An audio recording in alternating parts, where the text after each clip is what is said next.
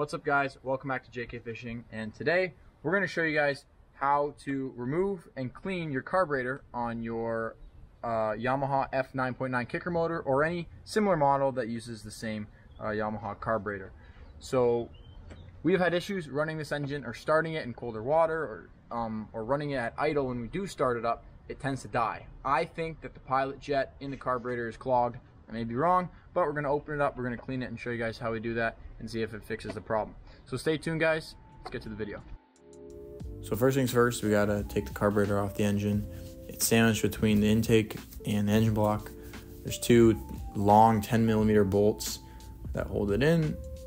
I once you take them out, you gotta be careful. There's a little collar on each of them. If that collar does not come off with it or go back on with it, it will not be tight enough to the block, and you will have uh, fuel air mixture leaking out in between the gasket and the carburetor.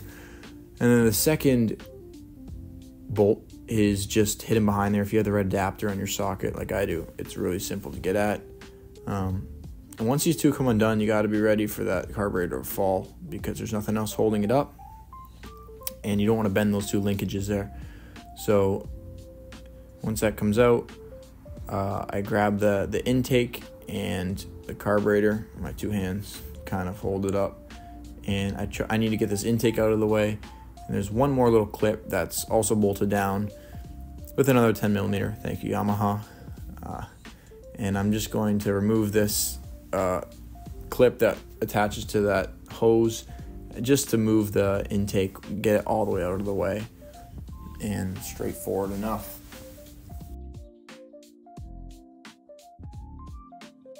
So once once the intake's out of the way, and I made sure to check that it's clear as it should be, nothing in it.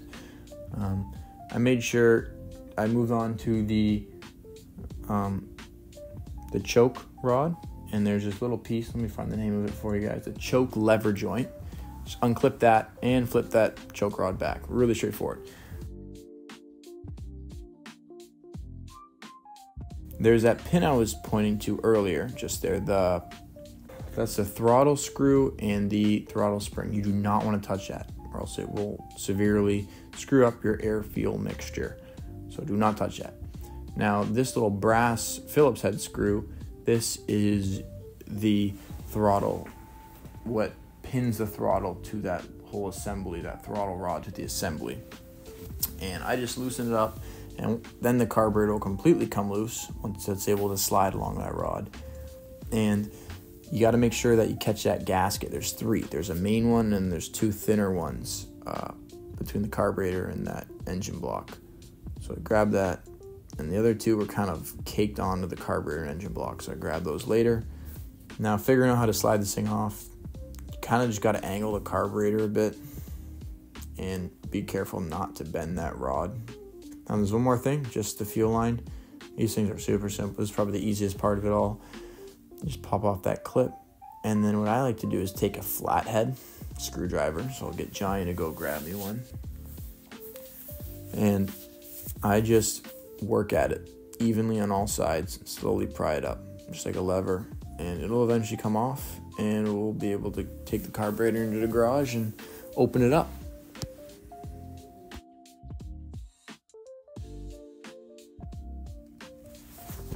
Okay, so we got the carburetor here. This was that gasket I was talking about before that was kind of caked on there.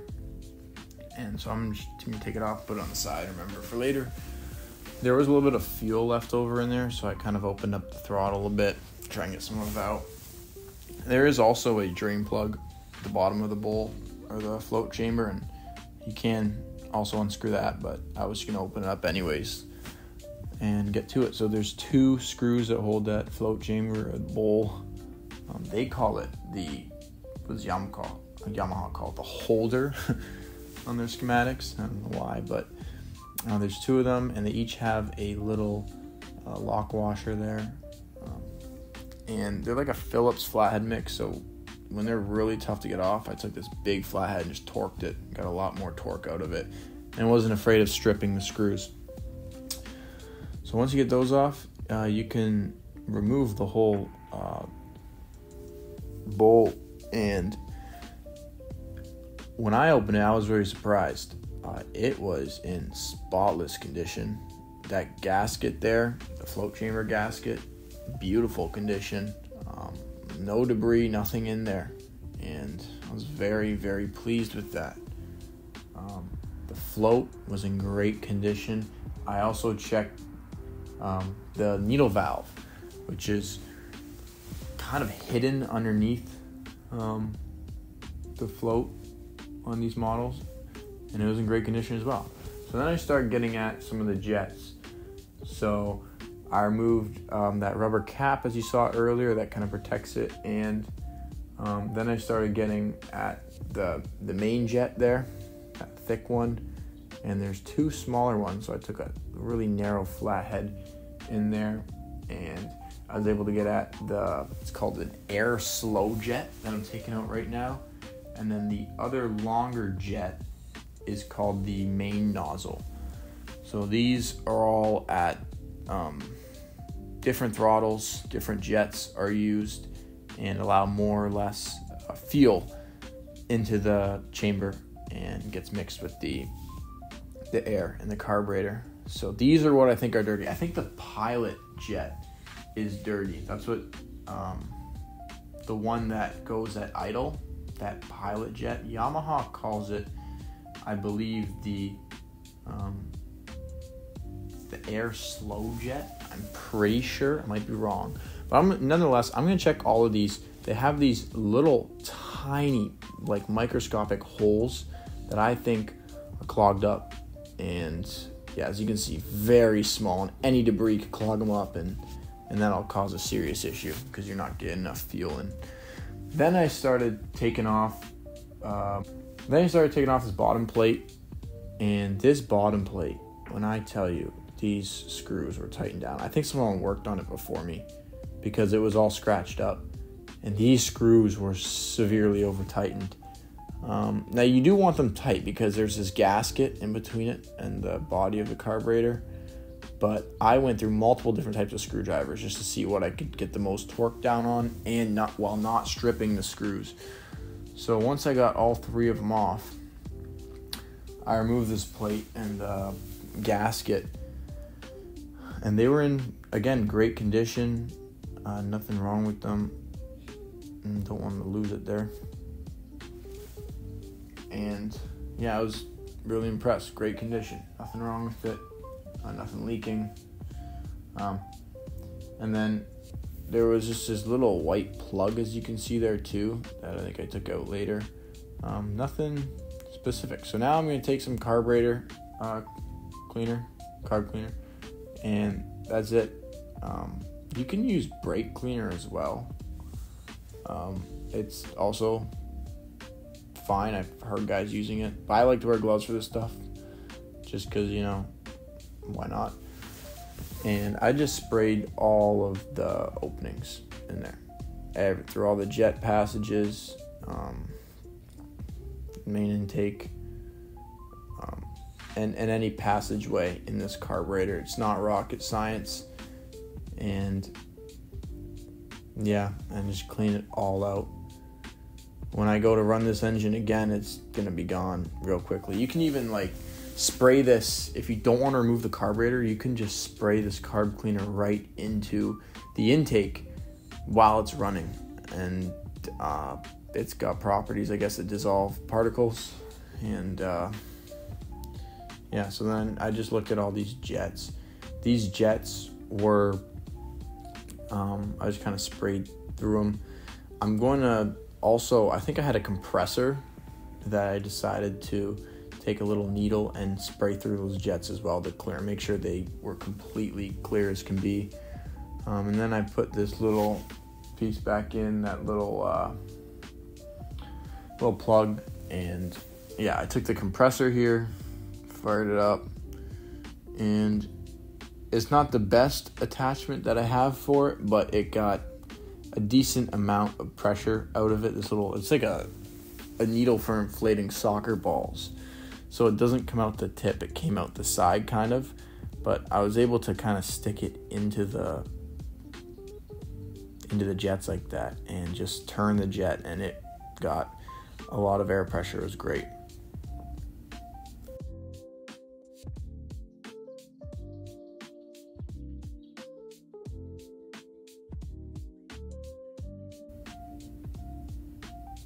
So again, that plug falls out really easily, so be careful with it. Um, it fell out every time I turned over the carburetor, it just popped right out. So make sure that's in before you put the plate and the gasket back on. Um, you can screw that right back down. And yeah, I was really impressed. This carburetor was super, super clean. There's nothing clogged on it.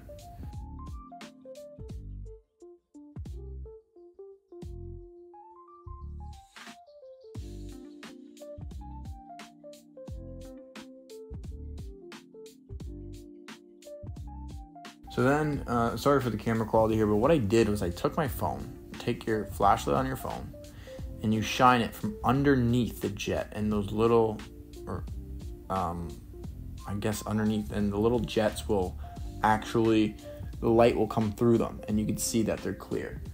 And uh, yeah, super, super easy way to check um, if they're clear.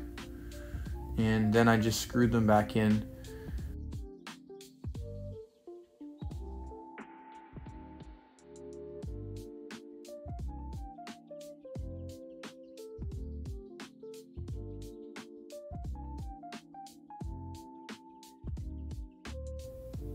Yeah, and then don't forget that rubber cap as well once you get all those jets screwed in.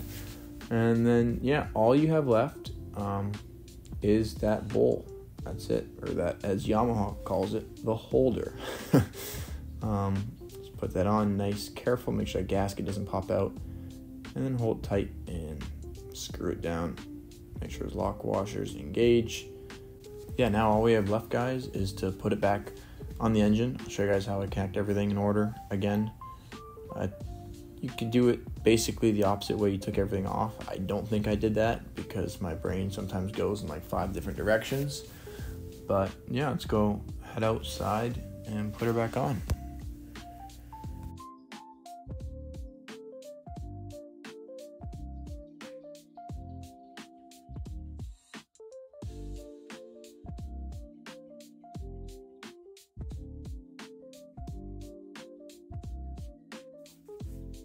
Okay, so now we're back outside work on the engine. First thing I do is connect that fuel line back to the carburetor, just slide it right on. Sometimes you could actually take some gasoline, rub it on the inside of the fuel line, it'll slide on real easy, or any wet substance.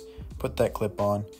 And then when I put that carburetor in place, um, before I bolt it back to that manifold on the engine block, I'll actually take the throttle rod and insert it through that little clamp there. Um, that is going to do not tighten it, and but that is going to make sure that the rod is in and you're not trying to weasel it in once you now tighten these bolts and that carburetor is stuck in place. So as you can see, it's kind of moving freely there. And then I take the bolts with the collars on, um, run them through that intake manifold, the carburetor, and then also the three um, gaskets. So the main one and then the two other thin ones. You got to line it up and put the bolt through like that. And then grab the other bolt, slip it in the other side.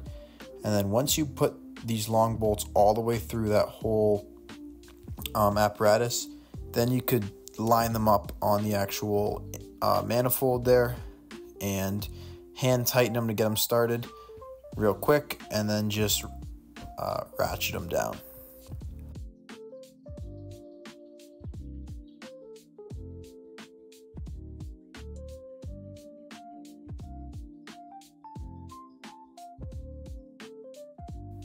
So once it catches, I could then let go of the carburetor and really get them going. Tighten them both down back and forth equally so it that gasket tightens down equally onto the manifold there. And there's actually a cool little thing Yamaha they mark it with uh, markers, uh, two little uh, marks on the bolts, and if you line up the two marks when you tighten down the uh, bolts, you don't need an actual uh, torque uh, measurement on your sockets. You can just make sure that the marks line up on the bolt and then on the manifold there or on yeah and just line them up like that tighten them all the way you'll feel it and yeah, then you're tight to spec.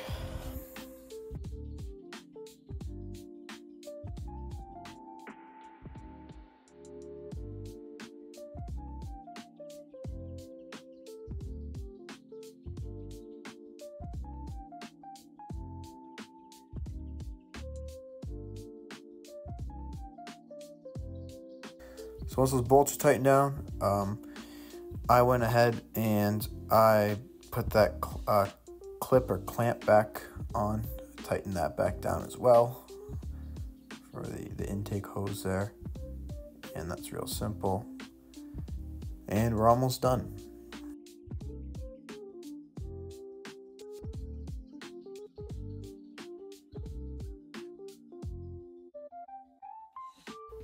So next up, this is a really tough part because now the carburetor is is on.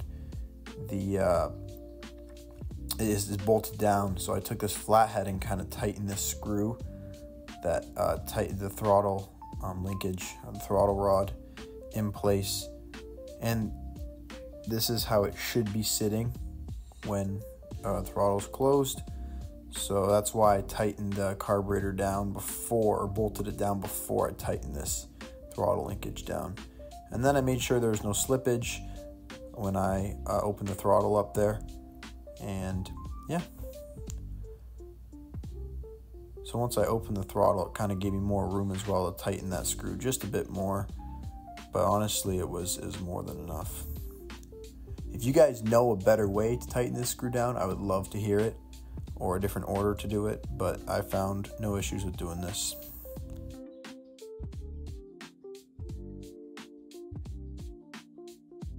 So then just take uh, the choke rod, clip it back on there, and yeah, there you go. We're done. That's honestly way easier than taking it apart, I feel. Obviously, the second time's easier. And uh, yeah, let's, uh, check her out. Carburetor installed, tightened down. Everything's good. So we're to fire up. I'm to show you guys. Like I said, we have issues at um, low RPMs at idle. Um, it tends to die. Uh, it takes a while to warm up, so I feel like one of the jets was maybe clogged. Um, who knows? It looked pretty good inside, but who knows? So uh, let's uh, start her up.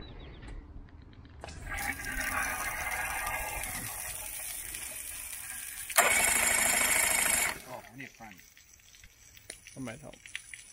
It needs to uh, fill up with fuel. Yeah.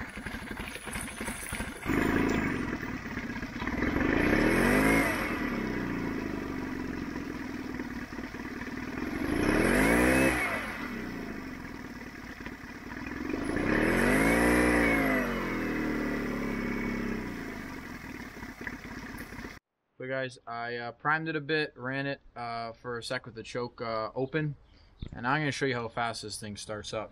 Johnny, open up the hose. Honestly, right away. That's unbelievable. Once the gas filled up, the carburetor filled up with gas, beautiful. Yeah, like that. We have not had to start up like that, even after it warms up for a bit. When we start up, it usually takes a couple rounds uh, for the starter, a couple maybe like a second or two for the starter to fire, and then it goes, um, and then it really it struggles for a bit. So that's awesome. Anyways, guys, uh, if you enjoyed this video uh, of just quick, you know, do it yourself, um, you know, boat owner maintenance, uh, leave us a like, give us a comment. Uh, I love doing these things myself because it saves us money. You learn a thing or two, and you know, yeah. Anyways, guys, that's all for the video. We'll see you next time on JK Fishing.